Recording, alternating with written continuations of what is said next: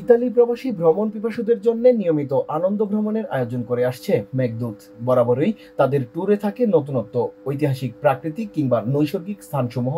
ভ্রমণের অংশ হিসেবে মেঘদূতের সপ্তম আয়োজনের গন্তব্য ছিল বিশ্বের সেরা দশ লেকের মধ্যে অন্যতম লাগোদি কমো আমাদের ইতালি প্রতিনিধি মালিক মঞ্জুর জানান, একটানা কাজের অবসাদ থেকে মুক্তি পেতে প্রকৃতির সান্নিধ্যে কিছুটা সময় কাটাতে প্রায় অর্ধশত প্রবাসী তাদের পরিবার পরিজন নিয়ে বিলাসবহুল বাসে করে বিখ্যাত লাগুদি কমুর উদ্দেশ্যে যাত্রা শুরু করে ইতালির রাজধানী রোম থেকে।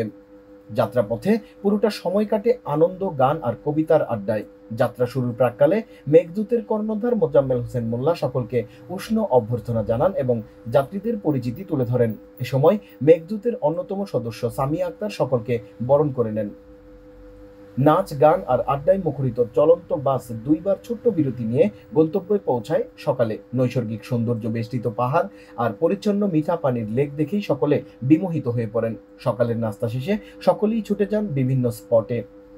দুপুরে মধ্যাহ্নভোজের পর বিরতি নিয়ে আবারও স্নিগ্ধ বিকালবেলার বিশ্বসেরা লেক কোমর অপরূপ সৌন্দর্য উপভোগ করতে।